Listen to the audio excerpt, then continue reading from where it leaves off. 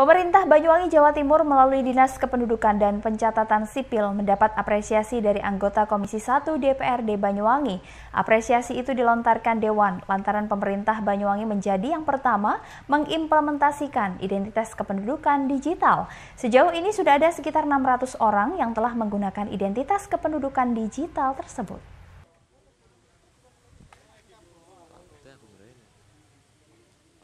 Penerapan identitas kependudukan digital yang digagas pemerintah pusat disambut baik oleh pemerintah Banyuwangi.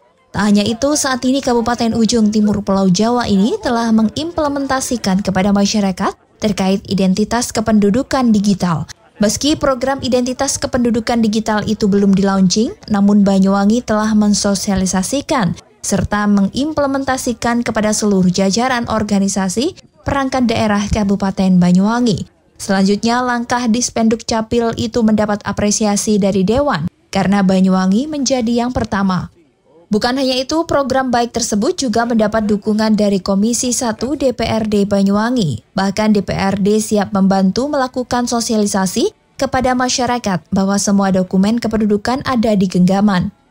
Menurut salah satu anggota Komisi 1 Makrifatul Kamila, ke depan masyarakat tidak perlu membawa berkas dengan resiko kehilangan pada saat pengurusan administrasi, sebab semua kebutuhan dokumen kependudukan sudah ada di dalam handphone. Justru kita harus mendukung.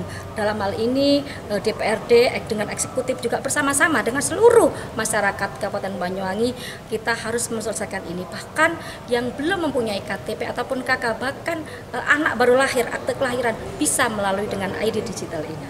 Karena hampir juga kalau kita melihat mungkin hampir separuh ya masyarakat kita yang di pinggiran masih belum uh, masih buta digital IT kan begitu ya kan itu adalah tugas kita bersama kita sosialisasi bagaimana juga kita membantu karena itu dibutuhkan untuk barcode ya kan bagaimana kita tetap ke masyarakat bahkan kita sampai perangkat ke bawahnya itu desa dusun bahkan di RT RW kepada masyarakat itu perlu untuk dilakukan sosialisasi ini supaya kita betul-betul di tahun 2024 tujuannya semua sudah ber KTP elektronik di Kabupaten Banyuwangi. Oke.